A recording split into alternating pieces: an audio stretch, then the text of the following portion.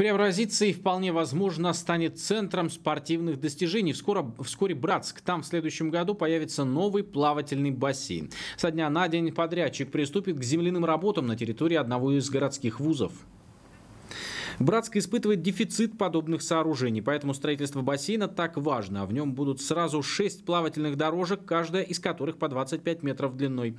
Возведение объекта будет стоить больше 200 миллионов рублей. Местный бюджет не может позволить себе такие траты. Именно поэтому строительство бассейна будет осуществлено благодаря федеральному проекту, в который попали всего 8 городов страны. Братск оказался среди них при содействии депутата Государственной Думы от нашего региона Андрея Чернышова. Данный объект э, строится в рамках партийного федерального проекта «Новая школа». Такие сооружения будут построены в восьми вузах страны.